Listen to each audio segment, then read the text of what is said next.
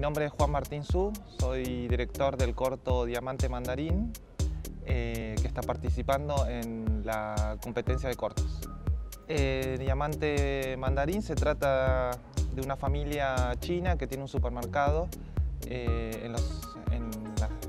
durante el 2001 y padece de, del miedo a, a los saqueos de esa época y bueno, deciden cerrar su supermercado durante unos días y esa es la historia de ellos dentro del supermercado atrincherados con miedo de, esta posible amenaza. La programación del festival del FISIC de este año, em, igual que todos los años, siempre me parece muy, muy particular, me encanta la curaduría, eh, por eso es uno de los, eh, de los hechos que me encanta ser parte de, esta programación, porque creo Creo yo que Roger eh, genera un, programa muy particular, muy especial, con películas que no son tan vistas muchas veces en otros festivales y que ese libro, eh, eh, ese grupo de películas generan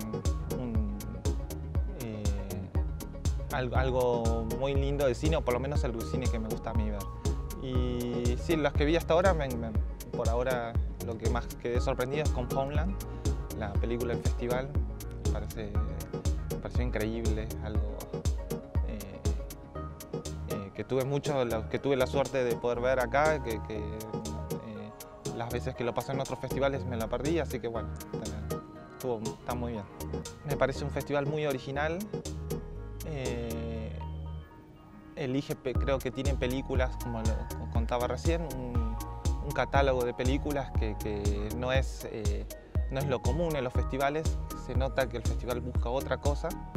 no, no las películas que porque estuvieron en otros festivales deberían estar, sino eh, las que eh, buscar el cine que trata de estas películas de, contar y, por eso siempre es, sorprendente el